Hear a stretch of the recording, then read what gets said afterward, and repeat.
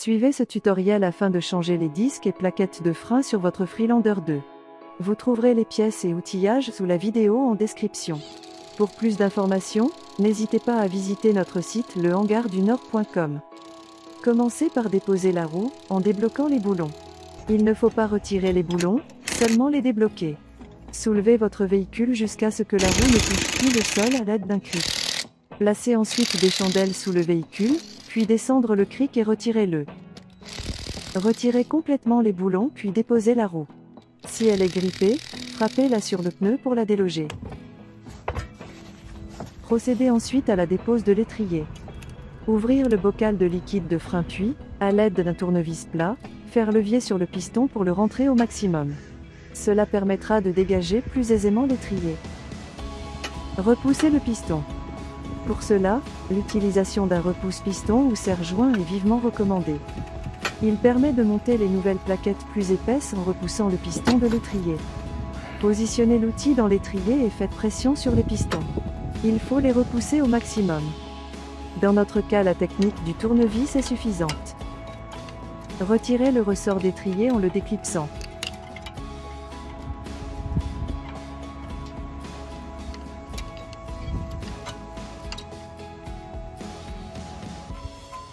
Dévissez les vis de l'étrier de frein. Retirez les capuchons de protection. Utilisez un cliquet et une douille hexagonale.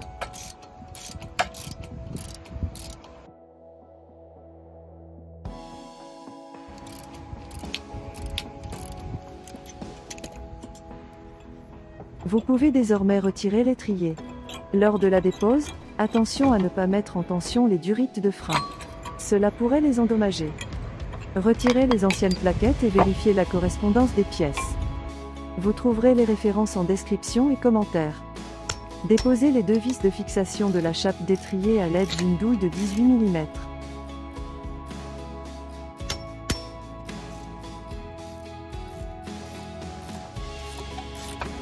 Retirez la chape. Déposez la vis de maintien du disque de frein. Vous pouvez utiliser un tournevis à frapper. Il dessert les vis en appliquant une force supplémentaire par des coups à l'aide d'un marteau.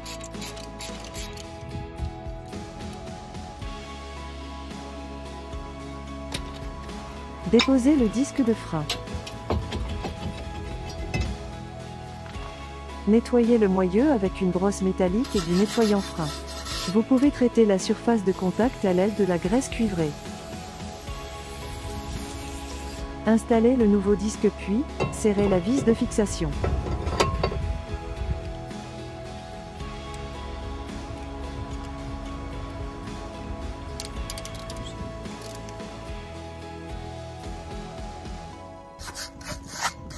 Installez à nouveau la chape et serrez les deux vis de 18 mm en utilisant une clé dynamométrique.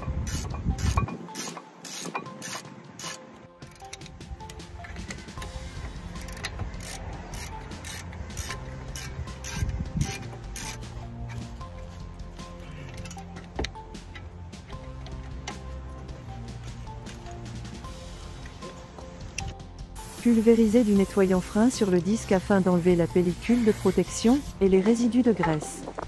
Comparez les plaquettes puis positionnez-les dans l'étrier.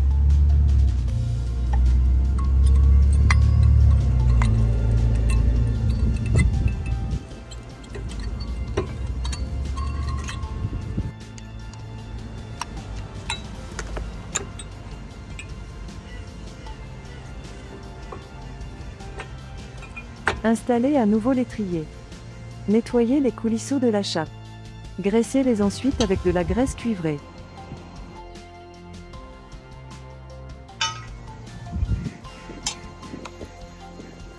Serrez ensuite les coulisseaux dans l'étrier.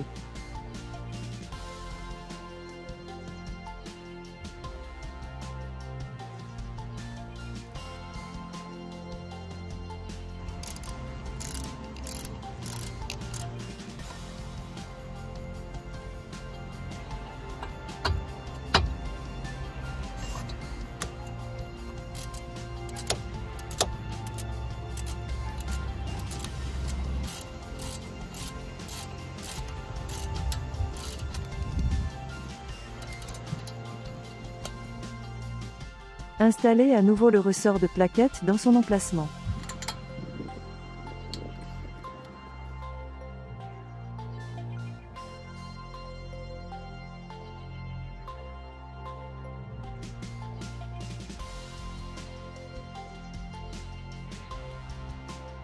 Remontez la roue et ses écrous. Retirez les chandelles et le cric puis serrez les boulons de roue à la clé dynamométrique jusqu'à 130 Nm. Contrôlez le niveau et refermez le bocal de liquide de frein. N'oubliez pas de pomper sur la pédale de frein avant de démarrer pour approcher les plaquettes sur le disque. Merci de nous avoir regardés. Dites-nous en commentaire si cette vidéo a été utile.